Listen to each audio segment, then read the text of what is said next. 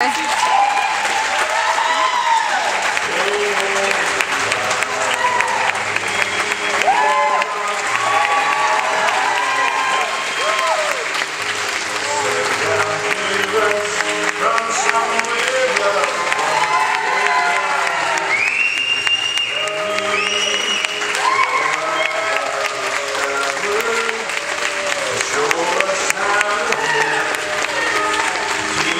Teach us how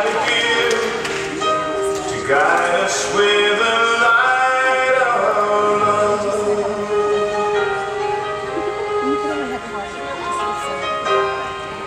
When life held troubled